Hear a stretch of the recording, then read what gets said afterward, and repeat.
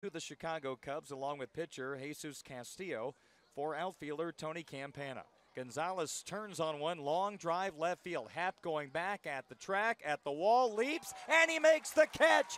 Now he throws to second. Bodie has it, throws to first, double play. Seven, four, three, and we just turn two for Hunger. Every double play the Cubs turn this season, the Jordan Automotive Group will donate $75 to the Food for Kids program. Happ leaped as high as he could, made the catch, hit the cutoff man near second base. Bodie the relay to first, and Thompson is doubled off. A